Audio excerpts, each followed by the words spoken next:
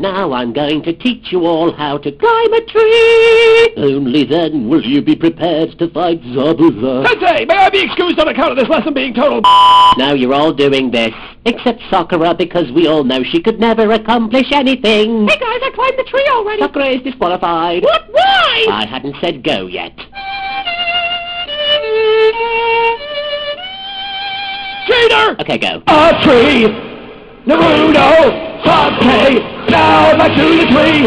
I've got a knife! The tree again!